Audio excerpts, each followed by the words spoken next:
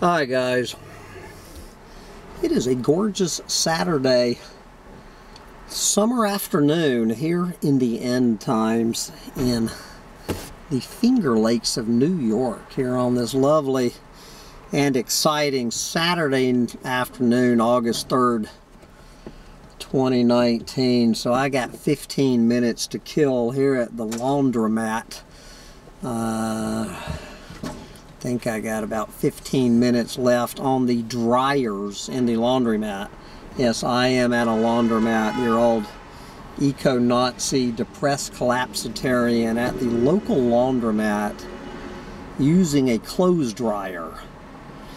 You know, I am, uh, now I'm house sitting this nice house for a fellow tribes member and who does have a washing machine but no dryer but I, I kind of remember there's something not right about the washing machine. It's kind of halfway collapsed. So I'm a little nervous. What I'm doing today is sheets and blankets. So uh, so I came down here so I made you know got in my gas sucking truck used all the fossil fuels to come down here to the laundromat to wash my stinking ass uh, sheets and blankets. And uh, so now I got a bunch of wet sheets and blankets. So what are my choices now? My buddy, good for him, does not have a clothes dryer. Doesn't own a clothes dryer. My uh, fellow Humpty Dumpty tribes member. So I've got all of these goddamn sheets and blankets to spread out. There's no clothes dryer. There's no clothes line. I guess he just puts his clothes over these little racks inside his house and hopes that uh, after a week or two his clothes will be dry. So what am I going to do, guys? I, I, mean, one choice is load up these these wet ass sheets and blankets and spread them all over the house and hope that they're dry by the time by Wednesday afternoon. I guess that's one choice or what I can do is go back to the house and put up a clothesline and put the uh, blankets out on the clothesline. You know, set up an entire clothesline to use one time or I can do what everybody else at the fucking laundromat is doing today, and that's throwing the goddamn uh, things in a big ass clothes dryer, putting them on the hottest heat uh, available uh, in the fucking dryer, and uh, and drying my goddamn sheets and blankets. And that's exactly what I'm doing. Of course, it's what I'm doing. That's what they built the fucking dryers to do. That's why they built the goddamn laundromat. You know, uh, I'm, I'm, I have to admit, guys, I'm, I, I, I'm just beginning to enter that Michael Ruppert territory where my, my twisted, ironic, sick, black sense of humor it's no longer, you know, giving me a pass uh, from living down here in this hellhole called the Doomosphere. It, you know, with each passing day, uh, as the evidence just mounts more and more and more how completely fucked we are. Uh, and, and, and, that there's not a goddamn thing we can do about it, or more importantly, or as importantly, that we would do about it. Uh, even if we could, I can't remember which Alert Tribes member sent me this cartoon out of The Guardian this morning, this long cartoon out of The Guardian, and what it was was this little endangered penguin, I guess, down there on some shrinking uh, ice floe in Antarctica.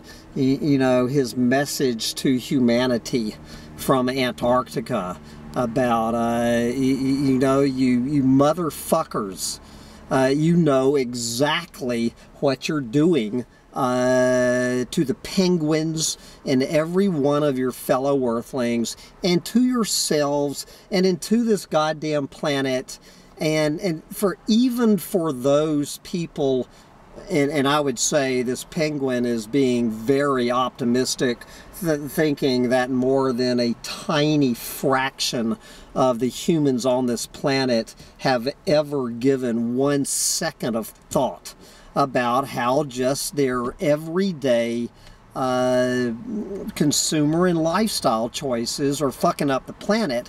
But he, you know, he was talking to assuming that that the readers of the Guardian for some reason, uh, now Andy the gardener would say I'm being a little bit naive here. I'm going to give the Guardian readers a little bit uh, more credit for at least understanding to a tiny degree how fucked we are. Um, I mean, more than uh, more than your average human being on the planet. So this little penguin was basically talking to Guardian uh, reader level of of eco Nazis and depressed collapsitarians.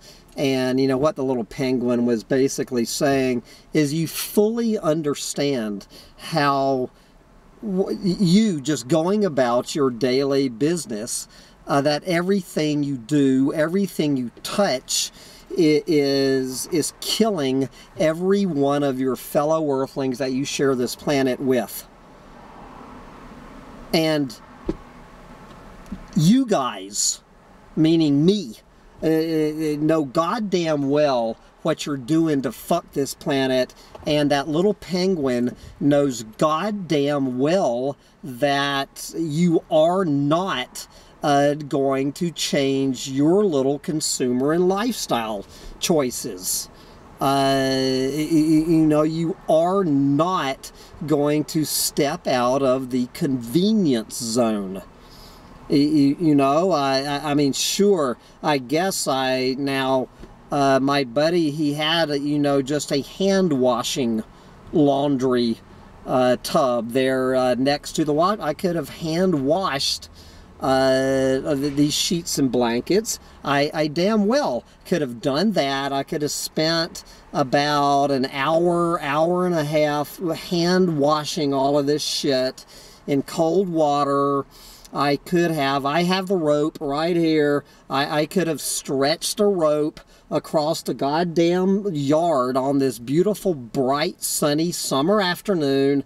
I could have made a clothesline uh, and, and hung these sheets and blankets up. I, I never needed to step in a gas sucking car to drive to a laundromat. I never needed to uh, use the electric washer. I never, sure as shit, never needed to use an electric dryer. I had the option to avoid all of that, but I did not want to hand wash uh, the, the, these goddamn sheets and blankets.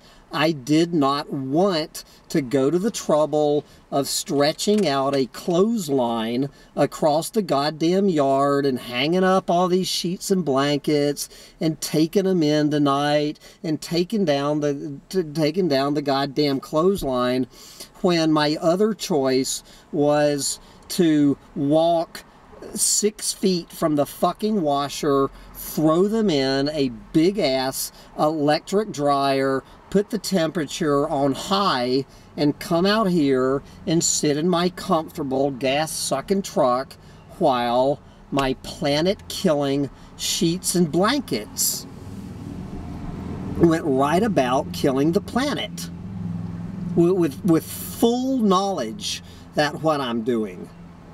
Now, what I don't know that that little penguin down there in Antarctica and whether the editors of the Guardian realize or not. Uh, it, that's a little bit unclear whether the apocalyptimist or whoever was being addressed here has peeled the onion back uh, you know, at one one deeper layer beyond uh, this this ridiculous joke uh, at this point that there's a fucking thing we can do in our individual consumer and lifestyle choices working from within the system uh, to make a fucking difference on the planet. The goddamn planet does not give a fuck whether uh, I throw my clothes in a washing machine and, a clothes dryer or not. It makes no fucking difference to this planet at this point. This this fucking planet is going down.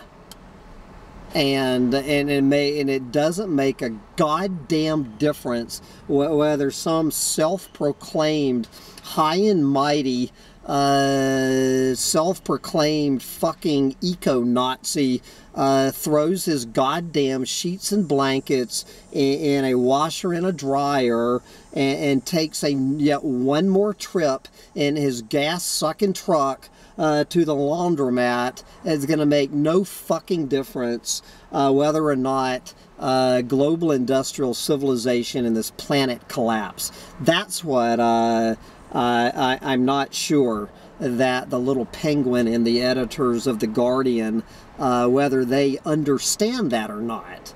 But when you do get to this level, uh, and you do understand uh, uh, uh, on a fucking cellular level how just just completely pointless it is at this point, completely fucking pointless. That that everything we do uh, from this point forward is A, completely pointless, and B, not only is it completely fucking pointless that every fucking thing that, uh, that we touch uh, is uh, contributing directly to the deaths of our fellow earthlings. And that's as true uh, for the fucking vegans as it is uh, for, you know, for the goddamn carnivores. You know? Uh, and, and, and I'm just begin, I'm beginning to lose my fucking sense of humor about it. I really am. You know, you, you can only treat this uh, this this knowledge as uh, as it just it is now it's just in your face. You know my my doomer headline of the week the number two story on the planet today is that what is going on in Greenland as I am sitting here throwing my fucking blankets into this clothes dryer uh, just exceeds the worst case scenario, most pessimistic climate models uh, by more than 50 years.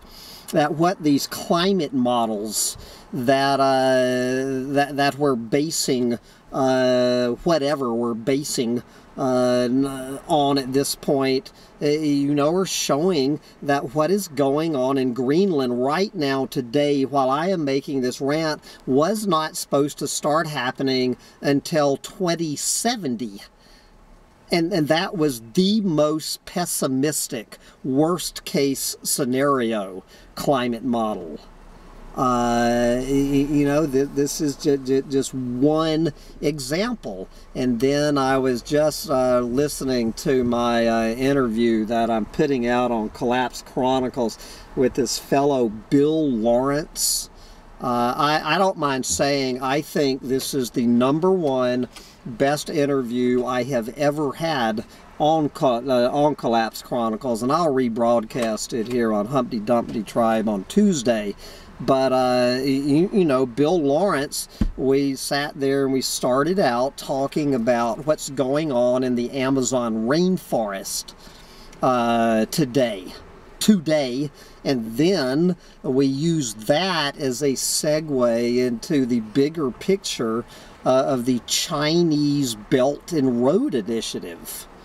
Uh, where this uh, where this tropical conservation biologist who has spent his entire life uh, you know, looking at how fucked we are, spells it out. That, that this Chinese Belt and Road Initiative, it, it is the single biggest threat to this planet by far bar none. He is calling it, and I'm sure Book Hermit would cheer the man on. He is calling what is this Chinese Belt and Road Initiative, which approximately 99.9% of this planet has never heard of, the single biggest threat to life on planet Earth, and it is unfolding right now. He calls it a bigger threat than climate change and it just it just adds more fuel to my argument I've been making that if every single earthling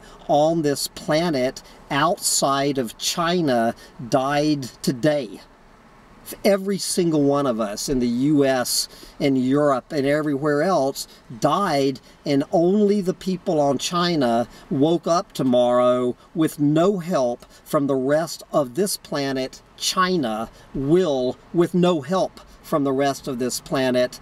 Destroy this planet. Do you get it? It makes no fucking difference what you do.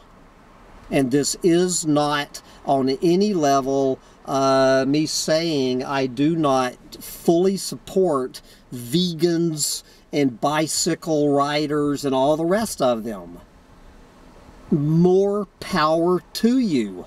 But just understand it's not doing a fucking thing uh, at, at, at this point.